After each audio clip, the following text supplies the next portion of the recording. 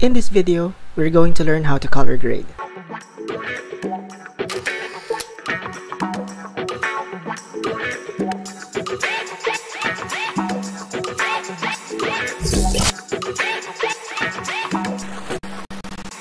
Okay, color grading is usually done during post-production. So most of the videos na ginagawa kasi sa mga films natin or yung mga usual videos or amateur videos na ginagawa sa YouTube are just on the normal settings ng mga camera natin. And color grading is being done in order for you to produce the best quality of the video that it can be. And most of the video editors are actually doing this and I myself are really inclined into color grading. Let me show you how I do my color grading in the videos that I produce, not just for YouTube videos, but also for the projects that I do outside my work in the hotel industry. So before we continue, don't forget to hit the subscribe button on this channel and hit the notification bell. You done? Alright, so let's start. So before we start this project, let's get to know more about the terms that we use whenever we're doing our color grading. And these are the color temperature, contrast, and HSL. First is color temperature.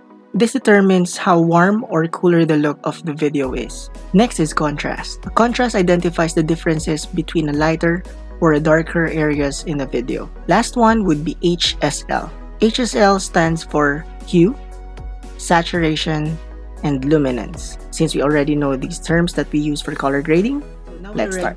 So now that we all know the terms that we are going to use for the color grading, let's start to adjust this simple clip that we have here on the timeline.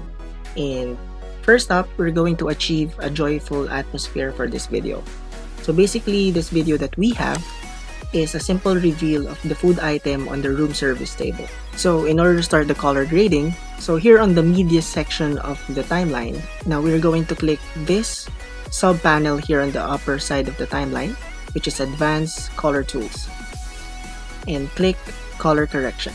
Now that we're in, let's go to Adjust and you will see this panel on the left side and the one on the upper part will be the histogram. Let me teach you how to read the histogram first.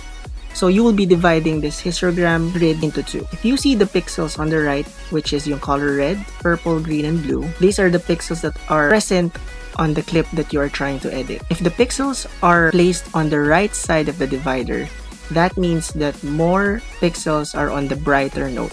But if these pixels would be on the left hand side of the histogram, that means that the colors on the clip are on the darker notes. So as you can see, Since clear and bright yung magiging clip natin dito, most of the pixels will be placed on the right side. So now, all the buttons on the lower left-hand corner are the things that we can adjust ngayon depending on our taste for the color grading of the scene. Now that we are achieving the joyful atmosphere, we have to work on the warmer colors. Let's go to the temperature first. And if you'll be moving the cursor to the left, you will see that the color of the clip turns into blue. You will also see the histogram is also moving on the top part while I'm moving the temperature panel. Now if you be moving the temperature panel to the right, it will turn more orangish or warmer tones. So let's just adjust the temperature a couple of notches over here around 5.9. Next is tint. These are the hues naman na meron sa tint natin. So if you move it to the left, this will make the clip turn to color green. But if you move it to your right, it will turn roughly between pink and purple shade naman. So you see, there's a few notches in terms of changes dun sa histogram natin and yung look ng actual clip. Now, let's go to colors. Now, mapapansin nyo ngayon yung mga terms na binanggit ko, visible ngayon siya dito sa color section. Now, if we adjust the exposure, kung mapapansin nyo, merong magiging source of light dun sa side ng clip natin, which is on the right hand corner, kung saan nanggagaling ngayon yung light from the window. If we will be adjusting this exposure panel, this will adjust how strong the light would be coming from the window itself, and the lighting of the clip will adjust depending on how dark you want it to be or brighter it to be. Next is brightness. This will adjust the lighting effect of the whole clip, not just the source of light from the lamp itself. And now, contrast. If you will notice the outline of the food cover, yung outline niya mismo is getting more details. So at least we can give more emphasis to the subject which is itong nasa table mismo. Now let's go to HSL. So as you can see, there are several colors na available dito sa panel natin. This means na ito yung mga colors na available ngayon dun sa clip. For example, your color red, your oranges, your yellow, so on and so forth. We can pick out ngayon yung exact color ng items na gusto natin ngayon i-highlight. So for example, all the color reds of this clip, we can make it stronger ngayon yung pagka-vibrant ng color red niya.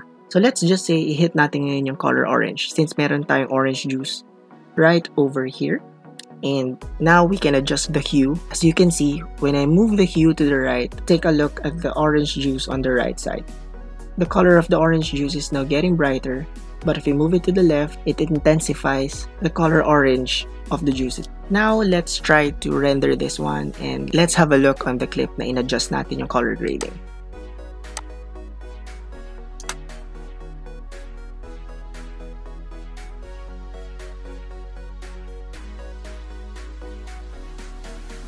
There. Yung color orange ngayon ng poached eggs are stronger and we can now give emphasis to the food na ni-reveal ngayon ng food cover. So what do you think? Does the clip look more vibrant and joyful in terms of atmosphere? Let me know in the comment section below.